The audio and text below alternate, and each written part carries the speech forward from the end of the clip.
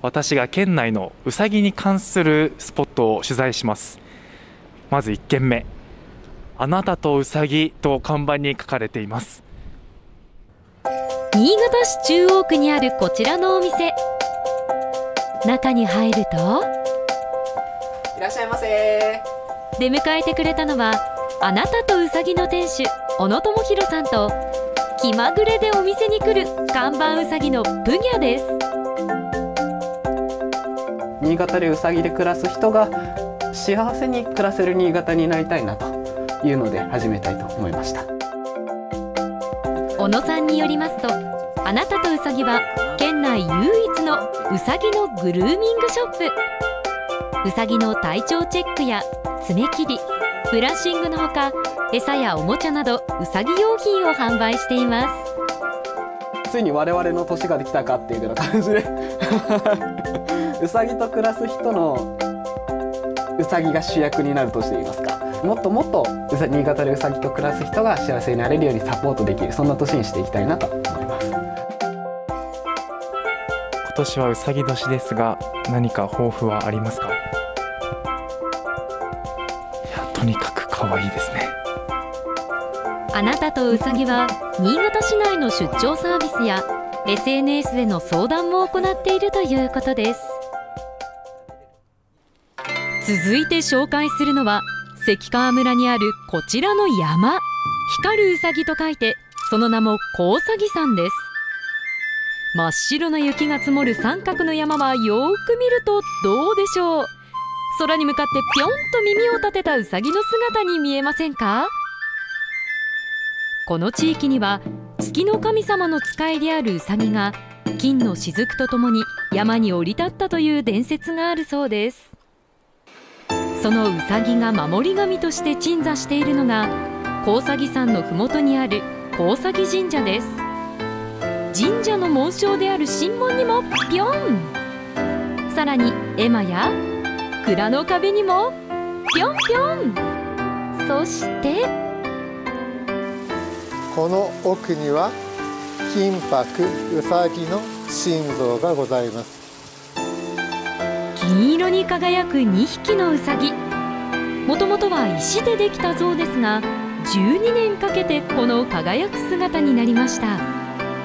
の中に薄紙に挟まれて金箔が入ってます。これをこちらの像に貼っていただくっていうことでございます。大きいうさぎがオス小さいうさぎがメスで参拝者が好きな場所に金箔を貼れるということです。願い事をこのうさぎにかけていただく。高崎神社の特別な御朱印帳も人気です。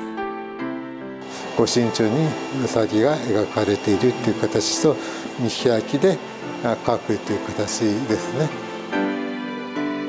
今年の主役うさぎに地元の飛躍の願いを込めています全国からまたここに足を運んでいただくことによってえこの県北の地が、まあ、活性化なるそんな一つの、えー、被爆祭のお社になっていただければありがたいなと思っております。関川村には他にもうさぎにまつわるスポットが。高崎っていうのをあの全面的に推したお宿がございます、まあ、そのお宿には素晴らしいうさぎがいっぱいあります。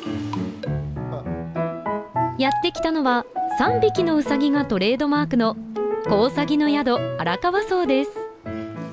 見てください。見つけました。こんなところにうさぎが隠れています。そして入り口の方赤い目のうさぎが私たちを歓迎してくれています入り口を進むとひな壇に乗ったうさぎたちがお出迎え。今回はまあこれ見てとりあえずあの驚いていただきたいです。おかみの佐藤理恵さんはうさぎも飼っている大のうさぎ好き。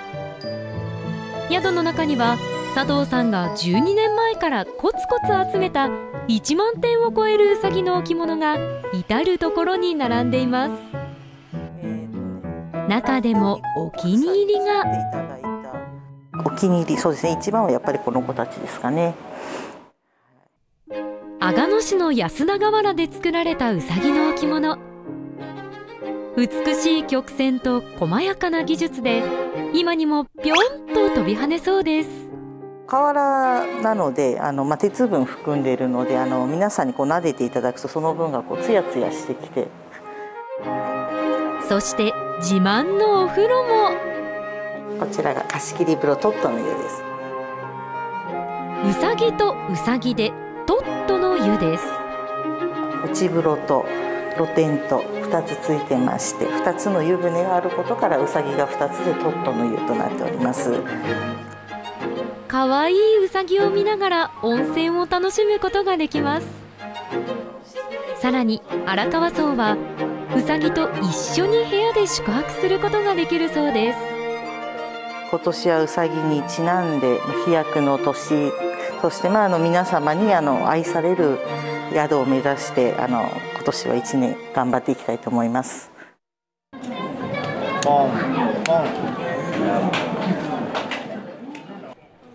県内の人口を干支別で見てみるとうさぎ年は2番目に少ないおよそ17万3000人となっています今年72歳になる1951年生まれが最も多く48歳になる1975年生まれ60歳になる1963年生まれと続きます年男年女だけではなくみんながぴょーんと飛躍できる一年になりますように。